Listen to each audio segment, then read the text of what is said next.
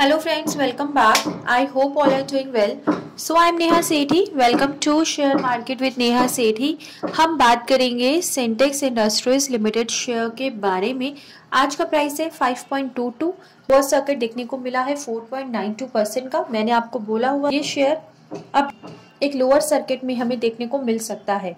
But एक अच्छी चीज़ हुई है कि आज कुछ तो सब्सक्राइबर्स हैं कि हम मैम इतने लकी रहे कि हमने शेयर से एग्जिट ले ले पाए हैं। मतलब उनका सेलिंग का ऑर्डर एग्जीक्यूट हुआ है। तो ये एक्टिविटी दिखाती है कि बायर्स भी इंटरेस्ट ले रहे हैं शेयर में सो so दैट कोई तो कोई बायर्स आए हैं तब भी किसी का सेल का ऑर्डर एग्जीक्यूट हुआ है।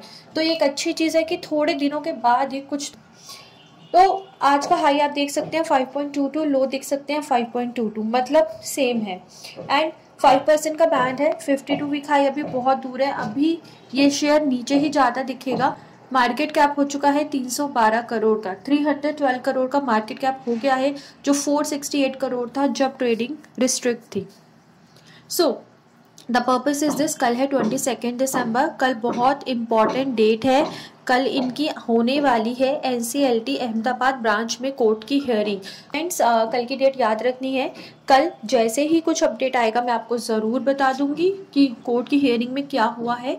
तो आपको बस बेल बटन प्रेस करना है. फंडामेंटल्स नेगेटिव हैं. शेयर से बाहर निकलना चाहते हो, जो लोग निकलना चाहते हैं, उन्हें नाइन फाइव नाइन टेन पे ऑर्डर लगाना है. एंड अगर इतने लकी हुए तो ऑर्डर एग्जीक्यूट हो जाएगा बिकॉज़ कुछ सब्सक्राइबर्स का हुआ है ऑर्डर एग्जीक्यूट तो अगर जो निकलना चाहते हैं, आप वो ट्राई कर सकते हैं।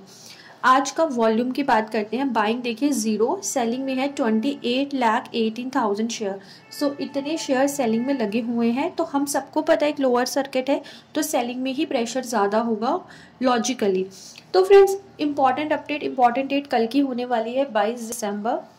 कोर्ट की हियरिंग का जो भी आउटकम आएगा, मैं आपको ज़रूर बताऊँगी। हो सकता है कुछ पॉजिटिव आउटकम आए इस बार, क्योंकि हम अब देख रहे हैं ट्वेल्थ ऑफ़ दिसंबर से ट्रेडिंग स्टार्ट हो चुकी है। तो हो सकता है कुछ अच्छा पॉजिटिव आउटकम आए। फ्रेंड्स शेयर होल्डिंग पैटर्न भी कुछ ज़्यादा स्ट्रॉन्ग नहीं है फोर परसेंट के अराउंड है प्रोमोटर होल्डिंग बाकी सारी पब्लिक है। तो ये 312 करोड़ रुपए जो है, वो पब्लिक ही है मोस्टली और वो भी धीरे धीरे निकल रही है। एक लॉस मेकिंग कंपनी है। 292 करोड़ का लॉस है सितंबर क्वार्टर में। सो अगर नेक्स्ट क्वार्टर अच्छा आता है सो हमें यहाँ पे एक होप मिलेगी। आप इसमें नेक्स्ट टारगेट फाइव रुपीज़ का लेके चलिए। फाइव रुपीज़ तक जाएगा फ्रेंड्स एंड अगर कोई डिफरेंट अपडेट आएगा, मैं ज़रूर बताऊँगी। वैसे अपडेट कल ही आने वाला है तो आप बेल बटन को प्रेस कर देना।